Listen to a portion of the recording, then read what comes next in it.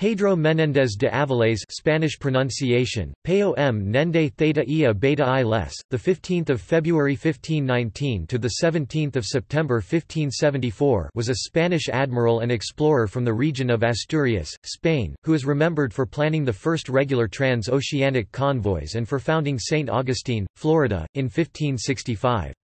This was the first successful Spanish settlement in La Florida and the most significant city in the region for nearly three centuries. St. Augustine is the oldest continuously inhabited, European established settlement in the continental United States.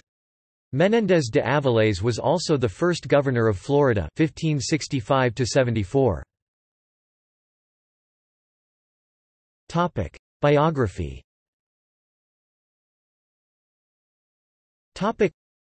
Menéndez had made his career in the Spanish Navy, in the service of the king, Philip II of Spain.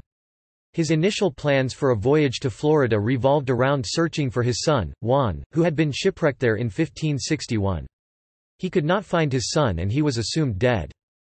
Following the founding of Fort Caroline in present-day Jacksonville by French Huguenots under René Goulaine de Laudonnière, he was commissioned to conquer the peninsula as Adelantado an elite military and administrative position. He established St. Augustine, or San Agustin, in 1565, then he seized Fort Caroline and displaced the French, his position as governor now secure. Menéndez explored the area and built additional fortifications. He returned to Spain in 1567 and was appointed governor of Cuba, in October of that year. He voyaged to La Florida for the last time in 1571, with 650 settlers for Santa Elena, as well as his wife and family. Menéndez died of typhus at Santander, Spain, in 1574. La Florida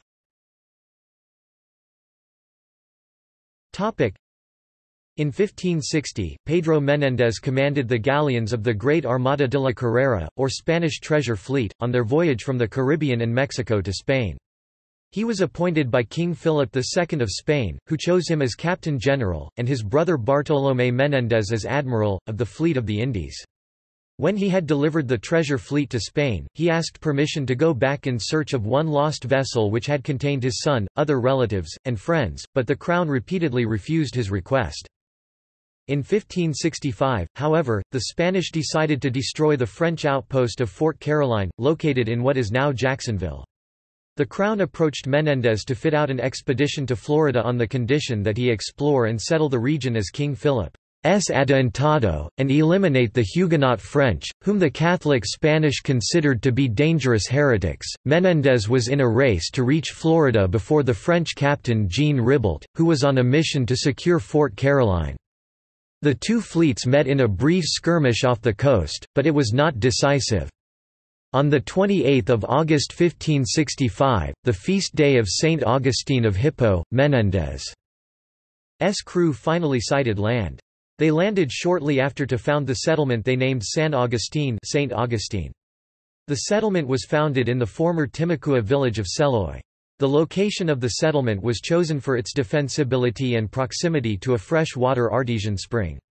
To this day, the locals of St. Augustine claim that it was here that Menéndez held the first Catholic Mass in what is now the continental United States.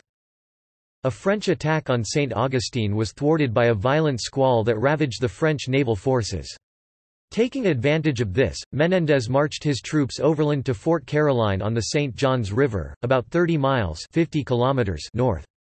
The Spanish easily overwhelmed the lightly defended French garrison, which had been left with only a skeleton crew of 20 soldiers and about 100 others, killing most of the men and sparing about 60 women and children. The bodies of the victims were hung in trees with the inscription, "'Hanged, not as Frenchmen, but as Lutherans, heretics'". Menéndez renamed the fort San Mateo and marched back to St. Augustine, where he discovered that the shipwrecked survivors from the French ships had come ashore to the south of the settlement.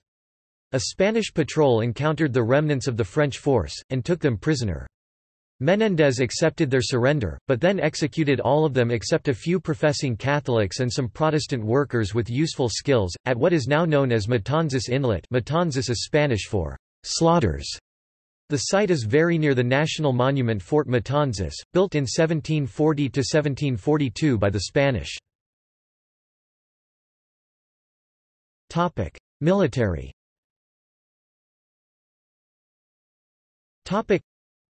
Menendez is credited as the Spanish leader who first surveyed and authorized the building of the royal fortresses at major Caribbean ports.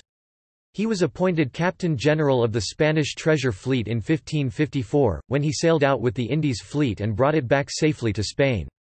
This experience assured him of the strategic importance of the Bahama Channel and the position of Havana as the key port to rendezvous the annual flota of treasure galleons. Later, in his capacity as adelantado and the private instrument of his sovereign, will, he was required to implement the royal policies of fortification for the defense of conquered territories in La Florida and the establishment of Castilian governmental institutions in desirable areas. Menendez Military experience served him well when he led a successful overland expedition from St. Augustine to surprise and destroy the French garrison at Fort Caroline on the St. Johns River. On 20 September 1565, 132 Frenchmen were massacred within the fort, only the women and children and a few drummers and trumpeters were spared.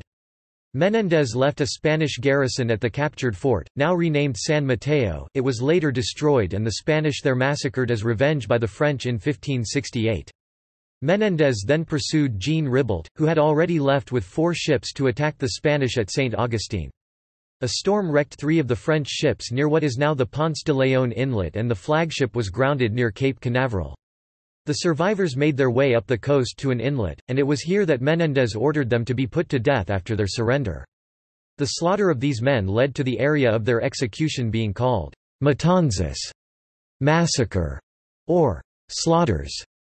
With the coast of Florida now firmly in Spanish hands, Menendez then set to work finishing the construction of a fort in St. Augustine, establishing missions to the natives for the Catholic Church, and exploring the east coast and interior of the peninsula.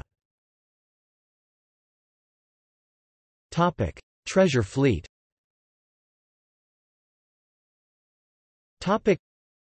Pedro Menéndez de Aviles was appointed Captain General of the Fleet of the Indies in 1554 by King Philip II of Spain. This position carried great honor, and it was an unusual appointment as the Casa de Contratación in Sevilla had appointed the Captain General in the past. Philip II and Menendez maintained a close relationship. Menendez was even invited to be a part of the royal party when Philip married Mary I, Queen of England. Menendez was the chief planner of the formalized Spanish treasure fleet convoy system that was to be the main link between Spain and her overseas territories. He was also the designer, in partnership with Álvaro de Bazan, of the great galleons that were employed to carry the trade between Cadiz in Spain and Vera Cruz in Mexico. Later years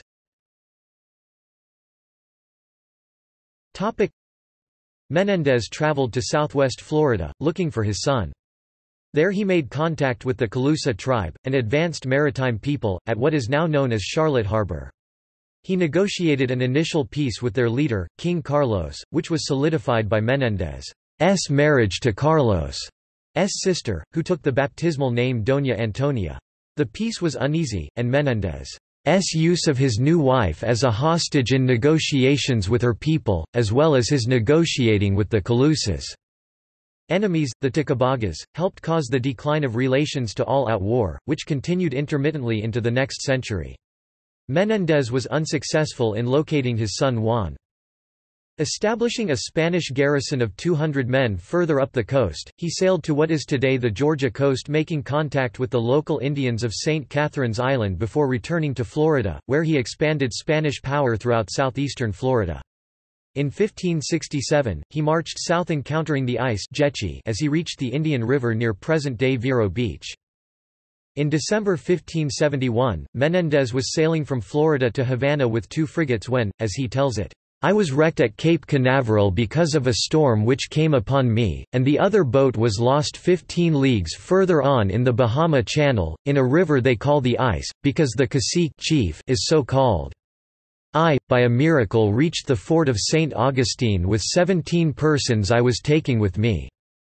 Three times the Indians gave the order to attack me, and the way I escaped them was by ingenuity and arousing fear in them, telling them that behind me many Spaniards were coming who would slay them if they found them.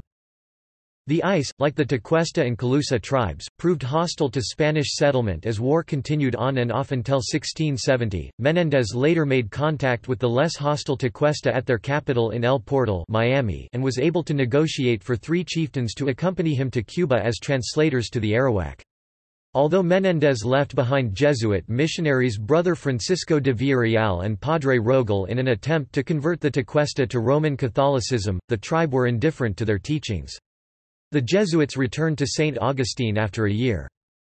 In August 1572, Menendez led a ship with 30 soldiers and sailors to take revenge for the killing of the Jesuits of the Ajacan mission in present-day Virginia. At the end of his life, he was appointed as governor of Cuba shortly after his arrival. He died in Santander, Spain, on 17 September 1574. Family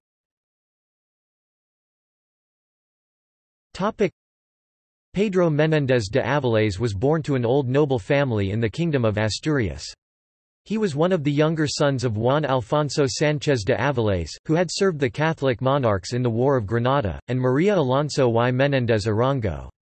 His parents had 20 children, and Pedro was still a child when his father died. When Doña Maria remarried, the boy was sent to live with a relative who promised to oversee his education. Pedro and his guardian did not get along, and he ran away from home. He was found six months later in Valladolid and taken back to his foster home. Eventually he went off to fight in one of the wars with France, serving in a small armada against the French corsairs who harassed the maritime commerce of Spain.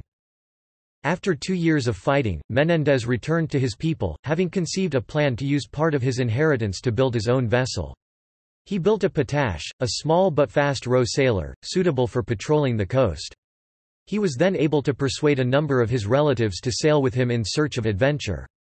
It was in this little ship that the youthful Menendez won his first victory of command in an engagement with French corsairs who attacked three slow Spanish freighters off the coast of Galicia. Through daring and resourceful cunning he separated the two swift Zabras Biscayan frigates that pursued him and captured them both, and drove away the third. The exploits of Pedro Menéndez soon became a topic of conversation on the waterfronts of Spain and France, and even in the royal courts. The Seville merchants and the associated Casa de Contratación House of Trade were chagrined by the success of Menéndez' adventures and his growing influence with the crown. In 1561 he was jailed by Casa officials for alleged smuggling but he was able to get his case transferred to court and win his release. Philip II was alarmed when he received the report from France of the Spanish spy Dr. Gabriel de Enveja that Jean Ribault had secured for himself the title of Captain General and Viceroy of New France, and that an expedition of ships, soldiers and supplies was being fitted at Dieppe for a voyage to Florida. More than 500 arquebusiers and many dismounted bronze cannons were loaded aboard the vessels. Menendez was now available to serve the king's purposes, having been granted an appointment as Adelantado of La Florida, and standing to receive a large land grant and the title of Marquis if he was successful in his commission. He advised the king of the strategic importance of exploring the Florida coast for discovery of trade passages to the riches of China and Molucca—waterways that might lead to the mines of New Spain and the Pacific—and of settling in several areas to defend the territory against incursions by the Indians and foreign powers. Menendez expected to make vast profits for himself and to increase the royal treasury with this Florida enterprise, which was to include the development of agriculture, fisheries, and naval stores. This ambitious venture was supported materially and politically by his kinship alliance of 17 families from northern Spain, all tied by blood relations and marriage, who pledged their persons and their fortunes to the Adelantado, hoping to enrich themselves with large grants of lands and the royal honors of civil and military offices in La Florida. The support of this familial elite of partners sharing his vision of enlarged estate and enhanced prestige gave Menendez a loyal cadre of lieutenants and officials who not only had blood connection to him, but also had invested their futures in his success. Legacy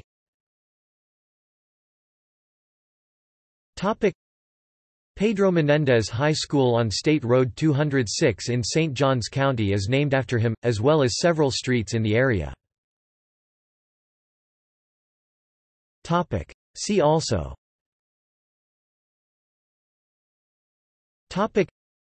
El Portal, Florida History of Florida Roman Catholic Diocese of St. Augustine St. Augustine, Florida Spanish Florida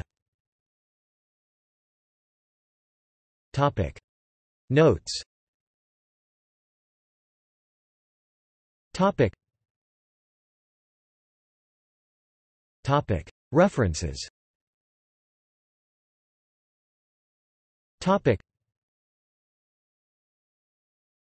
Topic. Primary resources Topic. Pedro Menéndez de Avilés Sailing Order, 1572 July 3. From the collections at the Library of Congress Topic. Further reading Topic.